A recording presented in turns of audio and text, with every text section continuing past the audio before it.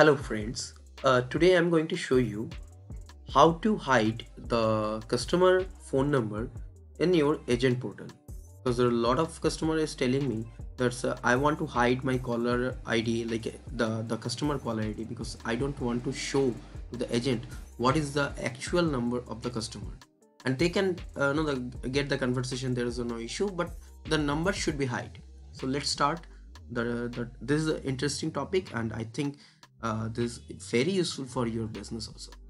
So let's uh, create some campaign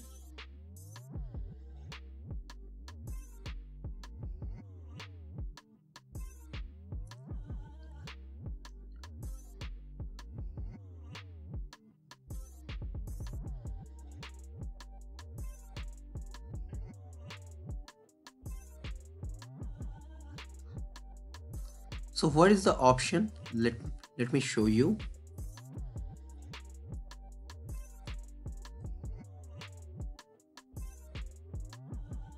See here is the here is the option.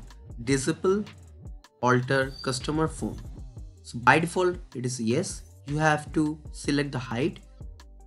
Whenever you are selecting hide just submit it.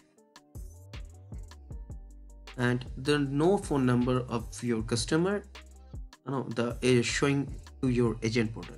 So i think it's very useful. You can check. And if you need any help on this you just comment or skype us or mail us.